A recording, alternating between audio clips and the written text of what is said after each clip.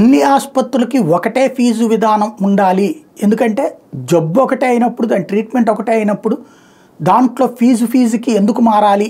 ఒక హాస్పిటల్లో పదివేల రూపాయలైతే ఇంకొక హాస్పిటల్లో యాభై వేలు వసూలు చేస్తున్నటువంటి వేళ దాన్ని కంట్రోల్ చేయడానికి ప్రభుత్వం ప్రయత్నిస్తుంటే దాన్ని ఆపడానికి కోర్టులు ప్రయత్నిస్తున్నాయి.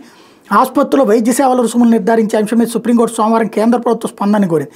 Clinical establishment central government rules రెండు వేల పన్నెండులోని తొమ్మిదవ నిబంధనను అమలు చేయరాదన్న పిటిషన్ మీద విచారణ సందర్భంగా ఈ మేరకు పేర్కొంది. సంబంధిత నిబంధన ప్రకారం రోగులకు అందించిన సేవలకు వసూలు చేసే రుసుములు కేంద్ర ప్రభుత్వం ఖరారు చేసిన రేట్లకు లోబడి ఉండాలి. రాష్ట్ర ప్రభుత్వాల సలహా మేరకు కేంద్రం వీటిని రూపొందిస్తుంది. అయితే ఒకే రకమైన రుసుల్ని ఎలా రుసుముల్ని ఎలా నిర్ధారిస్తారని justice BR Gavai justice Sandeep మోతాలతో కూడిన ధర్మాసనం ప్రశ్నించింది. మార్కెట్ అంశాలపై ఆధారపడి ఉంటుంది కదా. ఒక వైద్యుడు పదివేలు వసూలు చేయొచ్చు. మరో డాక్టర్ వెయ్యి అడగచ్చు అని పేర్కొంది. ఈ అంశంపై నోటీసులు జారీ చేస్తామని చెప్పింది.